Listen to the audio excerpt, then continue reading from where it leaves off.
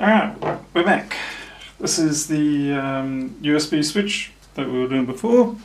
So have a look at, see if that comes up right.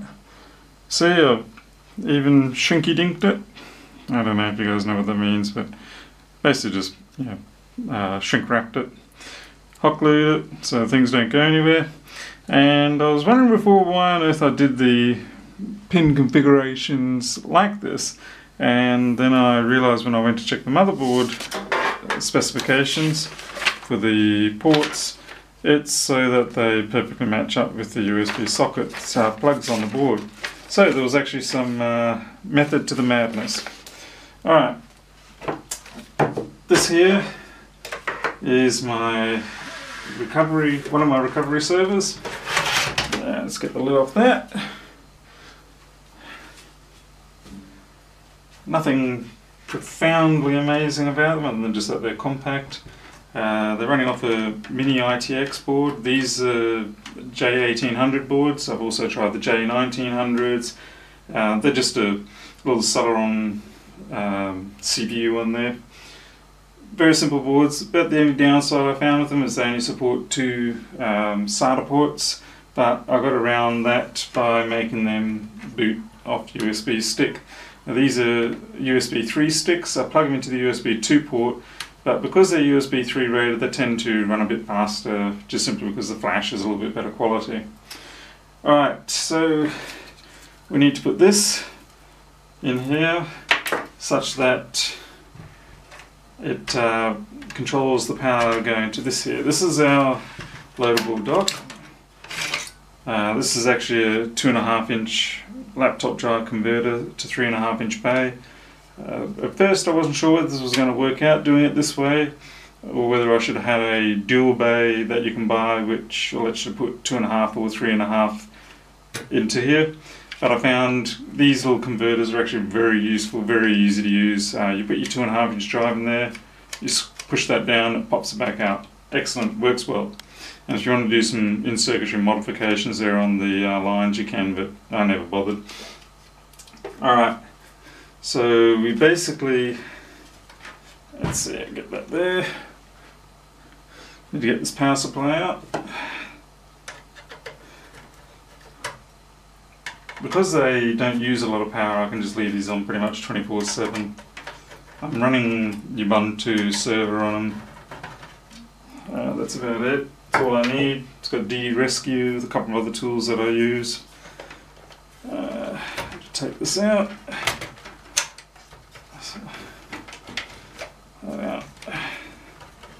Come on. It is definitely a bit of a tight squeeze in there, but that's okay cute little power supplies.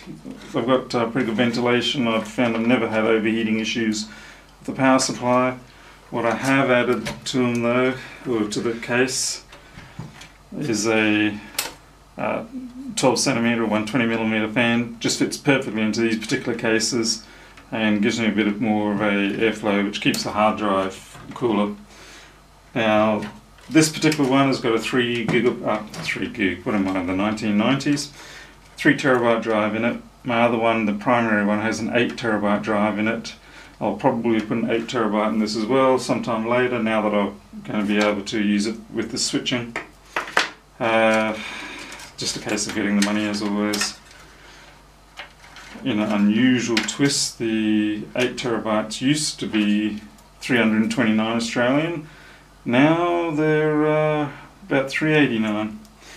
Alright, the relay switch just simply wrong way. There we go. Into there. This portion here, just uh, keep all the connectors aligned. Let's go down here. This just takes up one half of the two port header. Alright. Just going to double check that that's how it is ground, use D plus, D minus, and VCC. VCC. Ah, yeah, which is 5 volts in this case, which is just right for these. Okay, so that's connected up now. This goes into the back of the dock hard drive. there. And yeah, like I said, this is going to be a tight squeeze. It's nothing going to be pretty about this.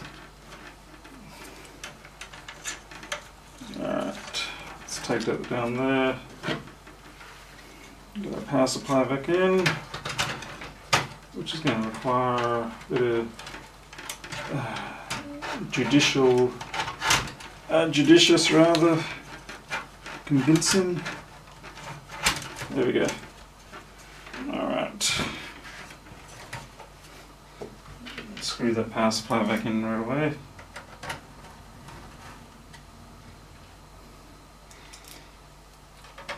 These are really good cases. They're available quite cheap. I think I picked them up for about 79 $80 Australian.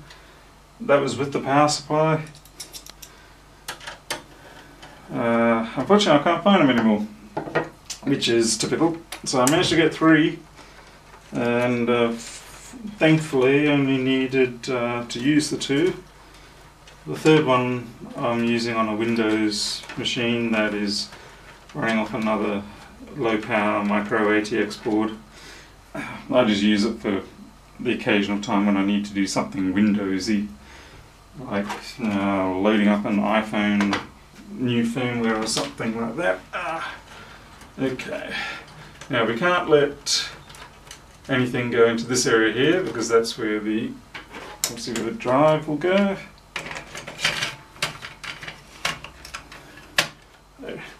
The loader bay, I um,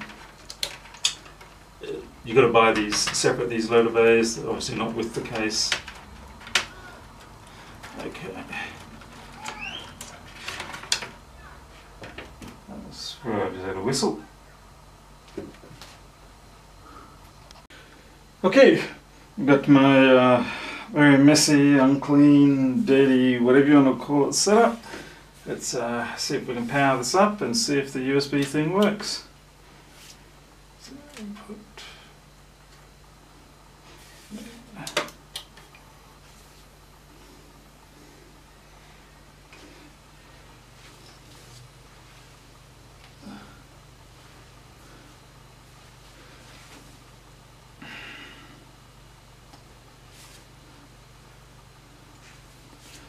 Okay, we're going to Ubuntu.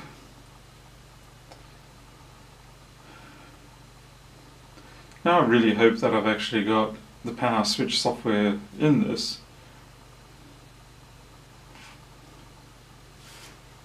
Okay. Uh, what's my password?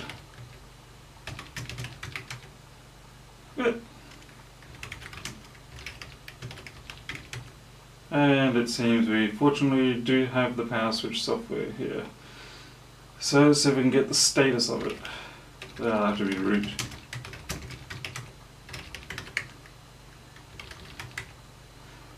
Showing everything on. And is that true? Well, lo behold, there we go. The lights are actually on. Didn't even know. Maybe I'll switch that off. Uh, you might be able to see them there. I'm just going to twist that back. Let's see if we can turn it off. switch off. There we go. A tiny little red light that I didn't care about while making it because I wanted it to be dim anyway. So hopefully you can just see that. And on.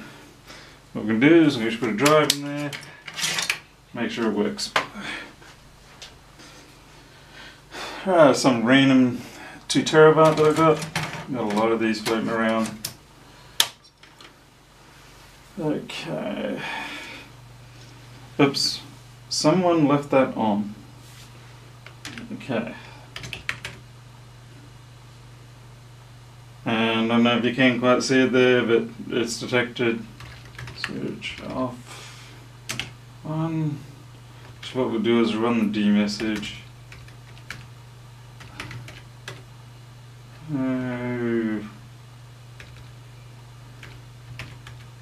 Nope, this one doesn't have the nice format output. Alright, looks like I've got to upgrade the USB stick on this one uh, to the latest Ubuntu. But,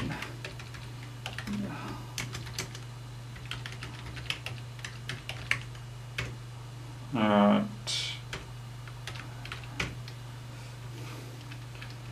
So if we, what's it, we're currently on, switch off, and we can see it's shutting down the link.